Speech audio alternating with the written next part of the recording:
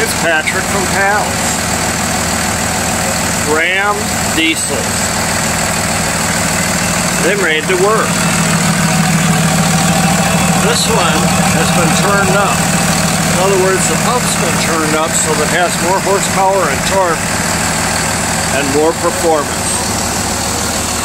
This vehicle puts out around 450 horsepower and around 700 foot-pounds of torque. It's an awesome vehicle. If you have a Ram diesel, bring it to Pals. See you soon.